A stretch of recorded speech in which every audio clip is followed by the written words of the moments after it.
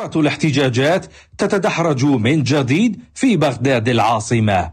من قتلني؟ عنوان هذه التظاهرات التي تجمهر فيها شيب وشباب نساء ورجال من مختلف المحافظات للكشف عن قتلة المتظاهرين والناشطين.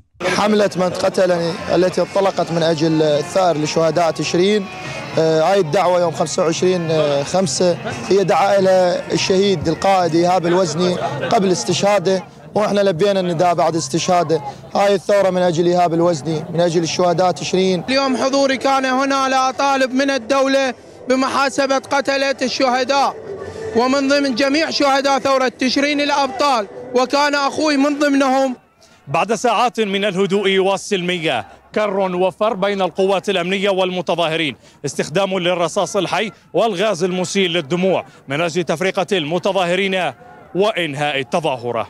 ومع هذه المشاهد عاد مشهد الصدامات وسقط عدد من الجرحى من المتظاهرين والقوات الأمنية بتظاهرة تطالب بإنهاء التسويف والمماطلة وإلقاء القبض على الجنات قبل البدء بخطوات تصعيدية أخرى كما يقول المتظاهرون. لم تنفذ الوعود. كل زيارة لرئيس الوزراء يزور يزور كل زيارة لذوي الشهداء. كل آه، وعوده كانت انتظروني ثلاثة أيام. أظهر قتله والآن ماذا؟ ماذا حدث؟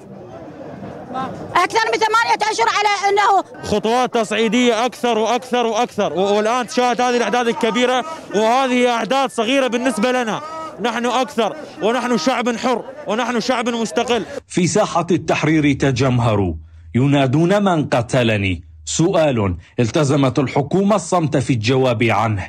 فخرجت هذه الأعداد. تطالب الحكومة بالخروج عن صمتها. وكشف قتلة الناشطين والمتظاهرين. من العاصمة العراقية بغداد بدر الركابي. اليوم.